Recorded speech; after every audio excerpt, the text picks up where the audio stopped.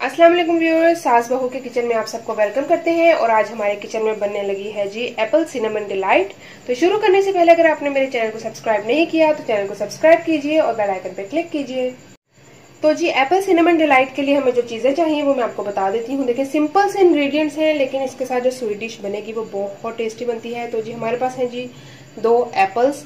बड़े साइज़ के मैंने एप्पल लिए हैं और ये एप्पल लेने हैं आपने जो थोड़े सख्त होते हैं। लाइक एक सॉफ्ट एप्पल आता है, वो नहीं, थोड़े से ये ये देखें, हार्ड वाले एप्पल हैं। दो एप्पल लिए हैं जी, साथ मेरे पास है जी, क्रीम, सिनेमन, यानी कि दारचीनी के पीसीस हैं, दो।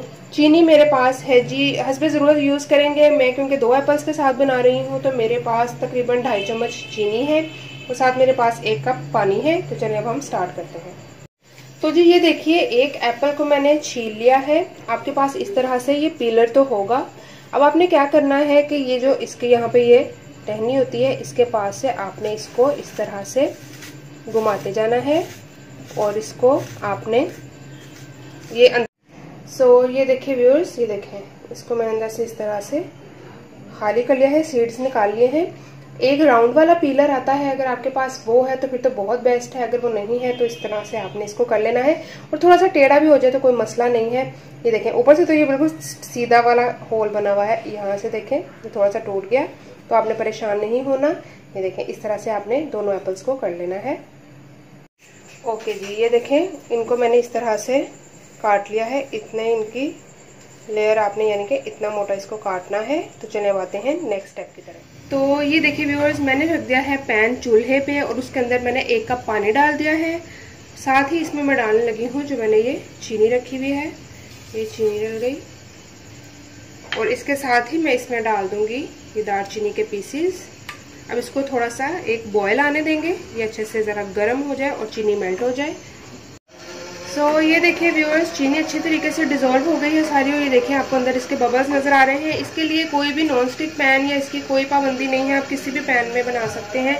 अब ये जो एप्पल हमने काटे हैं इस तरह से इसमें मैं जोड़ दूँगी।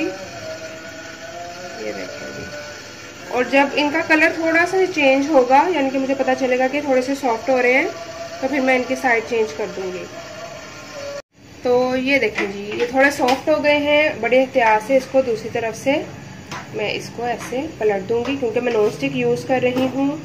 तो आपने अगर नॉन स्टिक यूज़ करना है तो प्लास्टिक का स्पून या स्पैचुला यूज़ करेंगे। इसको टर्न करेंगे, इस तरह से। ये सारे टर्न हो गए।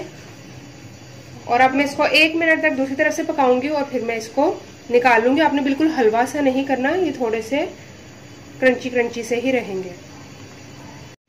ओके जी, ये दूसरी तरफ़ से भी हो गए हैं तो अब हम इनको बाहर निकाल लेते हैं। और आपने कोशिश करनी है कि उसी चीज़ में इसको निकालें जिसमें आपने इसको सर्व करना है। ये देखें, ये मेरे पास डिश है।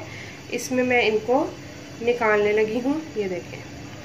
ताकि जब आप इसको फ्रीज़र में बाद में रखें ठंडा करने के लिए तो ये उसमें बड़े अच्छे से सेट हो जाते हैं। इसलिए उसको उसी चीज़ में डिश आउट करें जिसमें आपने सर्व करना है। जी, मैंने बाकी के पीसेस निकाल लिए हैं। अब जो बाकी पहले के जो हमने रखे हुए हैं, बाकी के इसमें डाल देंगे। इसी तरह से यही स्टेप हम रिपीट करेंगे।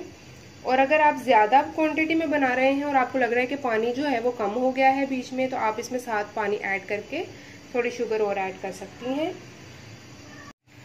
ओके जी, अब सारे एप्पल्स जो है वो हमने निकाल लिए हैं और ये जो दारचीनी के पीसीज हैं, इनको मैं बाहर निकाल लूँगी।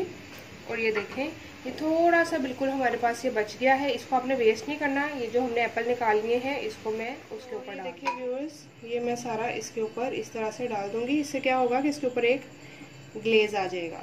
ये देखें। चलिए जी अब हम इसको रखेंगे फ्रीज़र में इसको बिल्कुल चिल्ड हमने सर्व करना है और प्रेजेंटेशन भी आपको दिखा सो so, ये देखिए व्यूअर्स हमारा मज़ेदार सा एप्पल सिनेमन डिलाइट बिल्कुल रेडी हो गया है और इसके ऊपर मैंने डाली है क्रीम और इसको इसी तरह से प्रेजेंट कर दिया है सिंपल सा। आप लोग जब इसको सर्व करेंगे तो साथ आप क्रीम एक्स्ट्रा रखेंगे, ताकि जब आप लोग इसको खाएँ तो ऊपर एक्स्ट्रा क्रीम और डाल के खा सकें।